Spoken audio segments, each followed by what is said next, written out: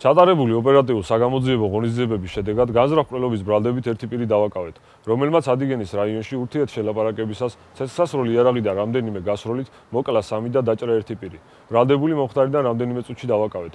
გამოძიება დამამძიმებელ გარემოებებში განზრახ-ყრელობის ფაქტზე მიმდინარეობს.